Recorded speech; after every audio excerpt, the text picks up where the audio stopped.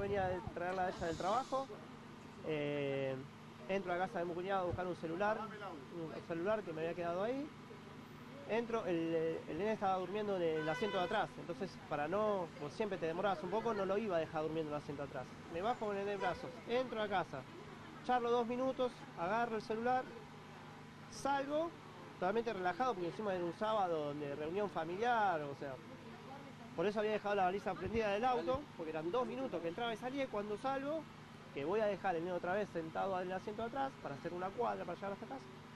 Eh, frenada, me clavan los frenos, cuando levanto la vista tenía los tres encima apuntándome. Con... ¿Qué te decían?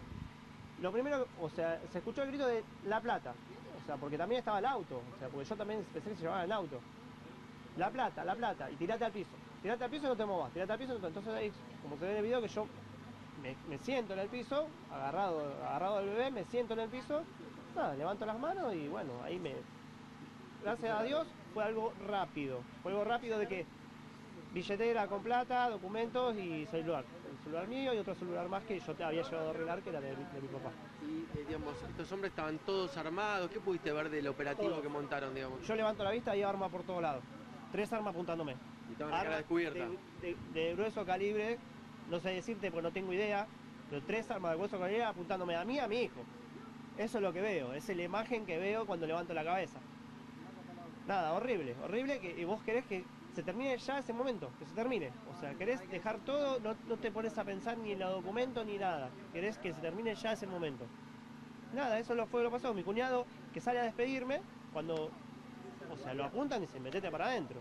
Que también vos tenés ese miedo, porque tenés el miedo de que alguno eh, quiera hacer algo y se arme, se pase un desastre. Como ya pasó hace tres años con, con Brian. Que eso es lo que se te pasa constantemente por la cabeza. O sea, puede haber una... una, te, te pueden matar, a vos, a tu hijo, te pueden matar a lo que sea, el que pase una bala perdida, a lo que sea. Entonces, vos querés que ese momento se pase lo más rápido posible. Mira, cuando yo vengo a la casa de mi hermana, pues yo estaba trabajando, lo veo a él y lo pri- yo sin saber con exactitud lo que había pasado. Lo primero que me dijo fue ladrón, ladrón, papá, papá, plata, ladrón.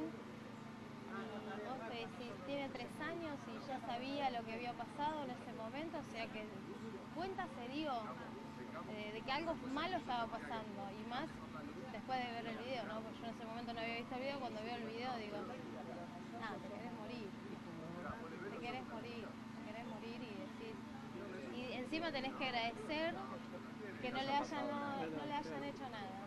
Encima tenemos que agradecer que fueron buenos y no gatillaron para matarlo. Encima, eso es, eso es lo peor, que nos estamos acostumbrando a eso, agradecer que no les pase nada. Igual, normal. Normal pero con miedo, sí, seguro, con miedo. Ahora, lugar está lleno de policía. Claro, el lugar está lleno de policía después de lo que pasó con Brian. Hace tres años más o menos de esto. Eh, la policía está acá pintada, pintada. El comisario, no sé, se cree que, que está todo bien porque pone 300 policías en el barrio. Pero la verdad que no. Si ellos, ellos mismos están corriendo riesgo. Y ellos saben, la policía saben quiénes son. Los que mataron a Brian hoy están pasando, se ríen, parece que se cargan, de- cargan a la gente. Y la verdad que no se hace nada, no se hace nada. Eh, cambiaron el comisario, pusieron policía nuevo, trajeron, sacaron de otro barrio policía para traerlo acá. Pero la verdad que nada, nada. Y la inseguridad sigue estando.